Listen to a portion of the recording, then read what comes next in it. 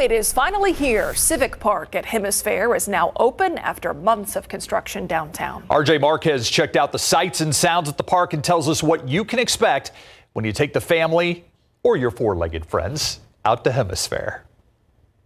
Take a stroll through Civic Park at Hemisfair and you see a mix of waterways, walkways, and green space. Now that people are actually walking and moving through the space, it feels like home. The park sits on seven acres of land along East Nueva Street at Yanaguana Garden. It has more than 130 trees and the Great Lawn, which will host events and concerts. The Great Lawn was made for people to come with their big picnic blankets and enjoy the beautiful green grass that we will have year round. Well, we all know it's been very hot this summer here in San Antonio, and Civic Park has several trees, a lot of shade for everyone that wants to come out. But one of the coolest things, literally, are these water springs. They are safe for wading, and this is quality, safe water, even safe enough for the family dog.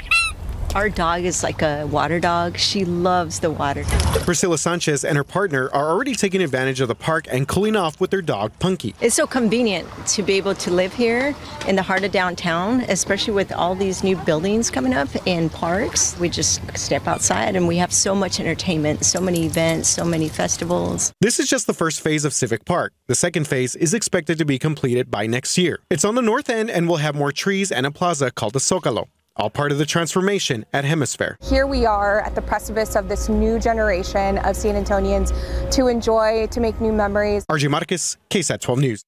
Keep up to date with all of San Antonio's top news, weather, and so much more by clicking the like and subscribe buttons below. And once again, thanks for watching KSAT.